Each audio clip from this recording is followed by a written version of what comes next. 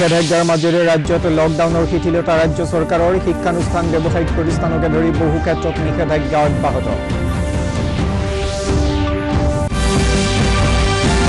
বিভিন্ন জিলাত আবদ্ধ হৈ থকা লোকক চৰ্ত সাপেক্ষে আন্তঃজিলা ভ্ৰমণৰ অনুমতি দিয়া হ'ব বুলি স্বাস্থ্যমন্ত্ৰী হিমন্ত বিশ্ব শৰ্মাৰ প্ৰকাশ। বিদ্যালয়সমূহক ছাত্ৰ ছাত্ৰীৰ পৰা এপ্ৰিল মাহৰ বাবে পঞ্চাছ শতাংশ মাচুল ল'বলৈ আহ্বান।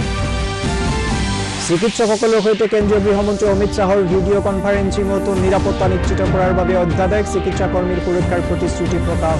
জাভ্ৰেকাৰৰ লকডাউনক লৈ সৃষ্টি হোৱা পৰিস্থিতিৰ মুখামুখি হোৱাৰ সন্দৰ্ভত চিৰাং জিলা প্ৰশাসনৰ সৈতে মুখ্যমন্ত্ৰী সৰ্বানন্দ সোণোৱালৰ পৰ্যালোচনা।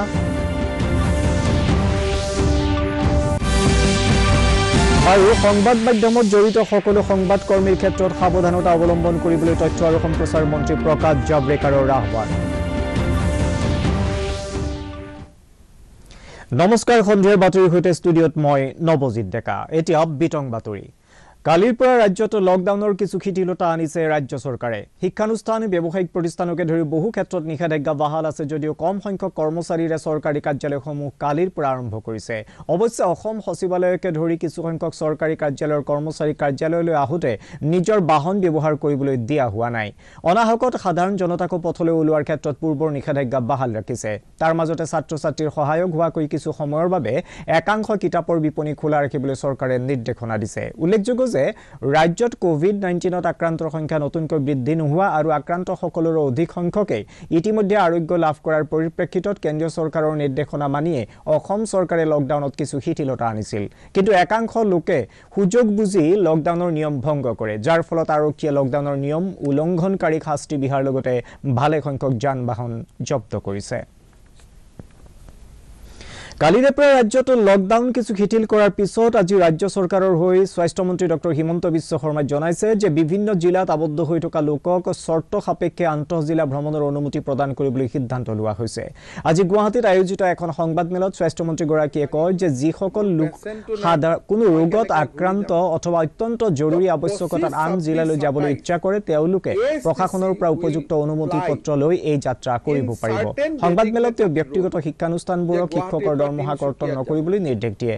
অমান্য কৰিলে বিধিগত ব্যৱস্থা গ্ৰহণ কৰা হ'ব বুলিও তেওঁ জানিবলৈ দিয়ে। বিদ্যালয়সমূহে ছাত্ৰ ছাত্ৰীৰ পৰা এপ্ৰিল মাহৰ বাবে পঞ্চাছ শতাংশ মাচুলহে ল'ব পাৰিব বুলিও তেওঁ জনায়। চৰকাৰৰ অনুমতি অবিহনে মাচুল বৃদ্ধিও কৰিব নোৱাৰিব বুলি তেওঁ সংবাদমেলত জানিবলৈ দিয়ে।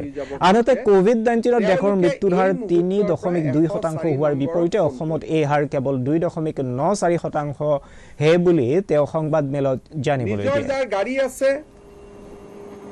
তেওঁলোকে ডি চিক আবেদন কৰিব।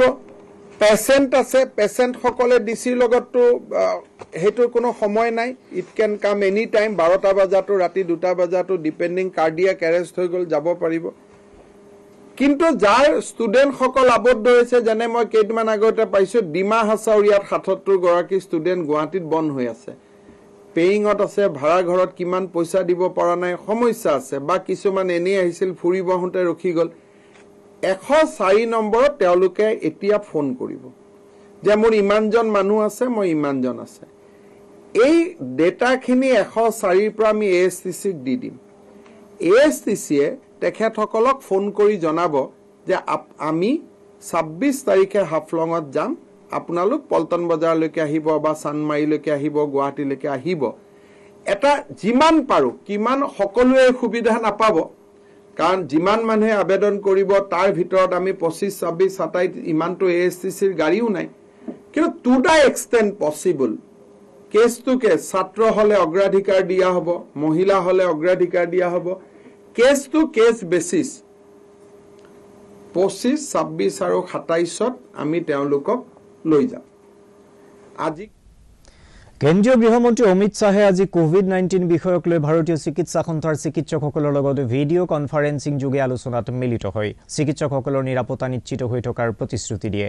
কেন্দ্ৰীয় স্বাস্থ্য আৰু পৰিয়াল কল্যাণ মন্ত্ৰী ডঃ হৰ্ষবৰ্ধনৰ উপস্থিতিত অনুষ্ঠিত হোৱা ভিডিঅ' কনফাৰেন্সখনত গৃহমন্ত্ৰী অমিত শ্বাহে কভিড নাইণ্টিনত আক্ৰান্ত সকললৈ আগবঢ়োৱা সেৱাৰ বাবে চিকিৎসকসকলক উৎসাহিত কৰে। গৃহমন্ত্ৰী শ্বাহে চিকিৎসকসকলক সাহসেৰে কাম কৰি যাবলৈ আহ্বান জনায় আৰু চিকিৎসকসকলৰ ত্যাগক প্ৰশংসা কৰে। অলপতে চিকিৎসা কৰ্মীৰ ওপৰত হোৱা আক্ৰমণৰ ঘটনা গৃহমন্ত্ৰী শ্বাহে গৰিহণা দিয়ে আৰু সমগ্ৰ বিষয়টোক প্ৰধানমন্ত্ৰী নৰেন্দ্ৰ মোদীয়ে গুৰুত্ব সহকাৰে লোৱা বুলি ভিডিঅ' কনফাৰেন্সত সদৰি কৰে। কৰোণা ভাইৰাছে সংক্ৰমণ কৰা ৰোগীসকলক চিকিৎসা প্ৰদান কৰি থকা চিকিৎসক নাৰ্ছ আদিকে ধৰি সকলো চিকিৎসা কৰ্মীৰ সুৰক্ষাৰ বাবে কেন্দ্ৰীয় চৰকাৰে আজি এক অধিসূচনা জাৰি কৰিছে। যোৱা কিছুদিন ধৰি দেশৰ বিভিন্ন অঞ্চলত চিকিৎসা কৰ্মীৰ বিৰুদ্ধে অভব্য আচৰণ আৰু আক্ৰমণৰ ঘটনাক তীব্ৰ ভাষাৰে নিন্দা কৰি তথ্য আৰু সম্প্ৰচাৰ মন্ত্ৰী প্ৰকাশ জাভ্ৰেকাৰে আজি নতুন দিল্লীত আয়োজিত এখন সংবাদমেলত এই কথা সদৰি কৰে। কোনো সভ্য দেশত এনে অভব্য আচৰণ কৰা প্ৰকৃততে দেখা পোৱা নাযায় আৰু আমি এনে ঘটনাৰ বাবে অত্যন্ত লজ্জিত। চৰকাৰে চিকিৎসা কৰ্মীক সুৰক্ষিত ৰাখিবলৈ বিভিন্ন ব্যৱস্থা হাতত লৈছে বুলিও তেওঁ সংবাদমেলত জানিবলৈ দিয়ে वैसे अभी केंद्र के आईपीसी है इंडियन पिनल कोड है क्रिमिनल प्रोसीजर कोड है नेशनल सिक्योरिटी एक्ट है डिस, डिसास्टर मैनेजमेंट एक्ट है और अनेक राज्यों के कानून भी है लेकिन फिर भी सबकी मांग भी थी कि देश भर का कानून बने और इसलिए आज पूरे देश में लागू होने वाला अध्यादेश आज लागू किया है। डॉक्टर अब, क्योंकि कोविड का संकट, ये गंभीर संकट है। इसमें बिना टेंशन डॉक्टर और आरोग्य कर्मी काम कर सके। ना उनके साथ कोई हमला होगा, ना उनके साथ कोई जाति होगी। इस तरह की व्यवस्था अब कायम होगी।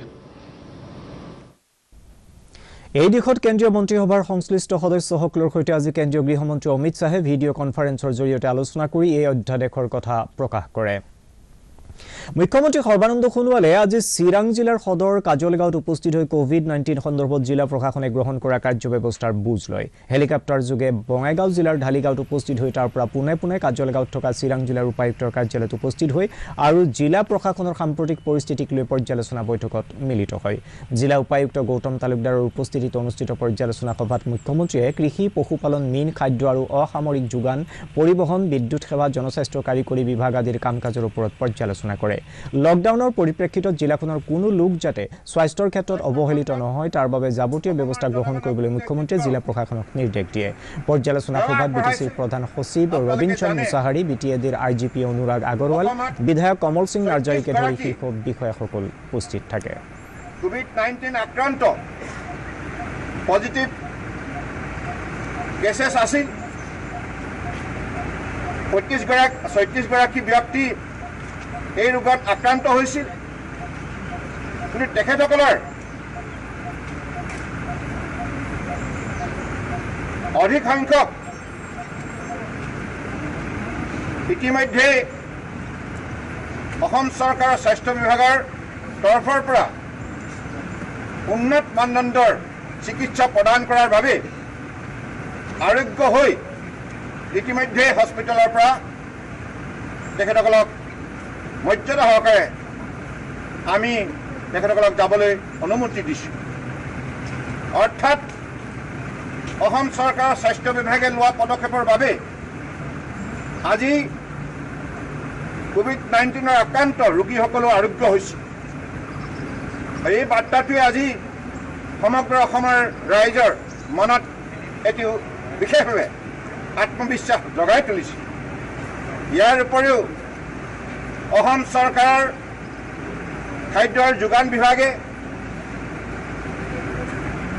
খাদ্য সামগ্ৰী যোগান ধৰাৰ উপৰিও আমাৰ যাতে চৰকাৰৰ কেন্দ্ৰীয় ৰাজ্য চৰকাৰৰ যিবিলাক সাহায্য খাদ্য সামগ্ৰীৰ ক্ষেত্ৰত এই যোগান ব্যৱস্থাও তেখেতসকলে পৰিপাটিকে তেখেতসকলে পৰিচালনা কৰিছে। তথ্য আৰু সম্প্ৰচাৰ মন্ত্ৰী প্ৰকাশ জাভ্ৰেকাৰে সংবাদ মাধ্যমত জড়িত লোকসকলৰ ক্ষেত্ৰত সাৱধানতা অৱলম্বন কৰিবলৈ আহ্বান জনায়। দেশত ইতিমধ্যে কেইবাগৰাকীও সাংবাদিক কৰোণা ভাইৰাছত আক্ৰান্ত হোৱাৰ পৰিপ্ৰেক্ষিতত সংবাদ মাধ্যমসমূহক সতৰ্কতামূলক ব্যৱস্থা গ্ৰহণ কৰিবলৈ জাভ্ৰেকাৰে আহ্বান জনায়। জাভ্ৰেকাৰে সংবাদ প্ৰতিষ্ঠানসমূহৰ মুৰব্বীসকলৰ উদ্দেশ্যে কয় যে সংবাদ প্ৰতিষ্ঠানসমূহে তেওঁলোকৰ সাংবাদিক তথা সংবাদকৰ্মীসকলৰ ক্ষেত্ৰত যথোচিত সাৱধানতাৰ ব্যৱস্থা কাৰ্যকৰী কৰিব লাগে। কৃষিমন্ত্ৰী অতুল বৰাই কালি দক্ষিণ কামৰূপৰ বিজয়নগৰস্থিত মেধিপাৰাত উপস্থিত হৈ উদ্যমী যুৱক দেৱ চৌধুৰীৰ চল্লিছ বিঘা ভূমিৰে আৱৰা বৃহৎ পশুধন আৰু কৃষি ফাৰ্ম পৰিদৰ্শন কৰে। উল্লেখযোগ্য যে দেৱ চৌধুৰীয়ে তিনিশ গাহৰি গৰু কুকুৰা আদি পালন কৰাৰ লগতে পশুখাদ্য উৎপাদনত নিজকে আত্মনিয়োগ কৰি আহিছে। চৌধুৰীৰ পামত থকা পশুখাদ্য উৎপাদন কেন্দ্ৰটোৰ পৰা ৰাজ্যৰ বিভিন্ন অঞ্চললৈ পশুখাদ্য যোগান ধৰা হয়। দেৱ চৌধুৰীৰ পামত আছে বিধে বিধে উদ্যান শস্যৰ খেতিও। কৃষিমন্ত্ৰী বৰাই কালি দেৱ চৌধুৰীৰ পামখন পৰিদৰ্শন কৰি উৎফুল্লিত হোৱাই নহয় চৌধুৰীৰ কৰ্মকাজক ভূয়সী প্ৰশংসা কৰে। মন্ত্ৰী বৰাই ৰাজ্যৰ নিবনুৱা যুৱক যুৱতীসকলক দেৱ চৌধুৰীৰ আদৰ্শক অনুকৰণ কৰিবলৈ আৰু নিজকে আত্মনিয়োগ কৰিবলৈ সংবাদ মাধ্যমৰ জৰিয়তে আহ্বান জনায়। দেশত যোৱা চৌব্বিছ ঘণ্টাত কোভিড নাইণ্টিনত এহেজাৰ তিনিশ তিৰাশী লোক আক্ৰান্ত হৈছে। এতিয়ালৈ দেশতো মুঠ আক্ৰান্তৰ সংখ্যা হৈ গৈ বিছ হাজাৰ এশ আঠসত্তৰগৰাকী। কেন্দ্ৰীয় স্বাস্থ্য আৰু পৰিয়াল কল্যাণ মন্ত্ৰালয়ে সদৰি কৰা অনুসৰি তিনি হাজাৰ নশ ছয়সত্তৰগৰাকী লোকে এতিয়ালৈ আৰোগ্য লাভ কৰিছে। যোৱা চৌব্বিছ ঘণ্টাত দেশত কোভিড নাইণ্টিনত আক্ৰান্ত হৈ পঞ্চাছজন লোকৰ মৃত্যু হৈছে আৰু সৰ্বমুঠ মৃত্যুৰ সংখ্যা হৈ গৈ ছশ পঞ্চল্লিছগৰাকী। সৰ্বভাৰতীয় চিকিৎসা গৱেষণা পৰিষদে এতিয়ালৈ মুঠ চাৰি লাখ দুই হাজাৰ ছশ বিছটা নমুনা পৰীক্ষা কৰিছে। কালিৰ দিনটোত সমগ্ৰ দেশৰ ব্যক্তিগত আৰু চৰকাৰী পৰীক্ষাগাৰসমূহত ছাব্বিছ হাজাৰ নশ নমুনা পৰীক্ষা কৰা হৈছিল। মহামাৰী ৰূপ লোৱা কোভিড নাইণ্টিনত এতিয়ালৈ সমগ্ৰ বিশ্বত এক লাখ আশী হাজাৰ ষোল্লগৰাকী লোকৰ মৃত্যু হৈছে। আক্ৰান্তৰ সংখ্যা পঁচিছ লাখ আঠাশী হাজাৰ এশ ঊনচল্লিছগৰাকীলৈ বৃদ্ধি হৈছে। ইয়াৰ বিপৰীতে সাত লাখ ওঠৰ হাজাৰ তিনিশ বিছগৰাকী আৰোগ্য হৈছে। উল্লেখযোগ্য যে এই মহামাৰীত আমেৰিকাত সৰ্বাধিক পঞ্চল্লিছ হাজাৰ চাৰিশ সাতচল্লিছগৰাকী লোকৰ মৃত্যু হৈছে। বিপৰীতে আমেৰিকাত আক্ৰান্তৰ সংখ্যা হৈছে আঠ লাখ সাতাইছ হাজাৰ দুশ আঠাৱন্নগৰাকী মৃত্যুৰ সংখ্যাৰ ক্ষেত্ৰত দ্বিতীয় স্থানত আছে ইটালী। ইটালীত চৌব্বিছ হাজাৰ ছশ আঠচল্লিছগৰাকী লোকৰ মৃত্যু হৈছে। ইটালীত আক্ৰান্তৰ সংখ্যা এক লাখ তিৰাশী হাজাৰ নশ সাতাৱন্নগৰাকী। স্পেইনতো মৃত্যুৰ সংখ্যা বৃদ্ধি পাই একৈছ হাজাৰ সাতশ সোতৰগৰাকী হৈছে। স্পেইনত দুই লাখ আঠ হাজাৰ তিনিশ ঊনানব্বৈগৰাকী লোক আক্ৰান্ত হৈছে। ফ্ৰান্সত বিছ হাজাৰ আঠশ ঊনত্ৰিছগৰাকী লোকৰ মৃত্যু হৈছে আৰু আক্ৰান্ত হৈছে এক লাখ ঊনষাঠি হাজাৰ তিনিশগৰাকী। এই তথ্যৰ বিপৰীতে ভাৰতত এতিয়ালৈ বিছ হাজাৰ এশ আঠসত্তৰগৰাকী লোক আক্ৰান্ত হোৱাৰ লগতে মৃত্যুৰ সংখ্যা ছশ পঞ্চল্লিছলৈ বৃদ্ধি হৈছে। আজি বিশ্ব ধৰিত্ৰী দিৱস। বিশ্ব ধৰিত্ৰী দিৱস উপলক্ষে প্ৰধানমন্ত্ৰী নৰেন্দ্ৰ মোদীয়ে এটা টুইটযোগে কয় যে ধৰিত্ৰী আইৰ প্ৰতি আমাৰ কৰণীয় বহুত আছে। আমি প্ৰকৃতাৰ্থত কিমান দায়িত্বশীল সেয়া জুখি চোৱাৰ এয়া সঠিক সময়। প্ৰসংগক্ৰমে তেওঁ বিশ্বব্যাপী মহামাৰীৰ কোভিড নাইণ্টিন প্ৰতিৰোধ কৰাৰ বাবে সকলোকে ঐক্যবদ্ধ হৈ কাম কৰিবলৈ আহ্বান জনায়। লকডাউনৰ ফলত ৰাজ্যৰ অৰ্থনীতি ব্যাপকভাৱে ক্ষতিগ্ৰস্ত হোৱাৰ পৰিপ্ৰেক্ষিতত আজিৰে পৰা কাৰ্যকৰী হোৱাকৈ অসম চৰকাৰে পেট্ৰল আৰু ডিজেলৰ মূল্য বৃদ্ধি কৰিছে। প্ৰতি লিটাৰ পেট্ৰলত পাঁচ টকা পঁচাশী পইচা আৰু ডিজেলত পাঁচ টকা তিয়াল্লিছ পইচা বৃদ্ধি কৰা হৈছে। আন্তঃৰাষ্ট্ৰীয় বজাৰত খাৰুৱা তেলৰ মূল্য অৱনমিত হোৱাৰ পাছতো একমাত্ৰ ৰাজ্যৰ অৰ্থনীতি টনকিয়াল কৰাৰ স্বাৰ্থতে অসম চৰকাৰে পেট্ৰল আৰু ডিজেলৰ মূল্য বৃদ্ধি কৰে। বাতৰি শেষ হোৱাৰ আগতে প্ৰধান বাতৰিসমূহ আকৌ এবাৰ। নিষেধাজ্ঞাৰ মাজেৰে ৰাজ্যত লকডাউনৰ শিথিলতা ৰাজ্য চৰকাৰৰ শিক্ষানুষ্ঠান ব্যৱসায়িক প্ৰতিষ্ঠানকে ধৰি বহু ক্ষেত্ৰত নিষেধাজ্ঞা অব্যাহত।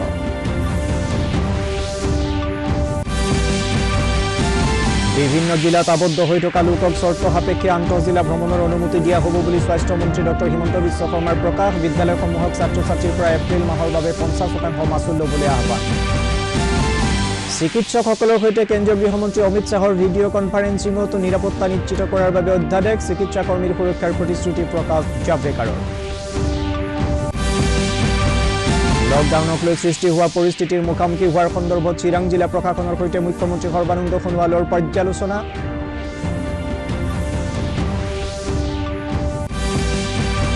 আৰু সংবাদ মাধ্যমত জড়িত সকলো সংবাদ কৰ্মীৰ ক্ষেত্ৰত সাৱধানতা অৱলম্বন কৰিবলৈ তথ্য আৰু সম্প্ৰচাৰ মন্ত্ৰী প্ৰকাশ জাভ্ৰেকাৰৰ আহ্বান। সন্ধিয়াৰ বাতৰি ইমানেই।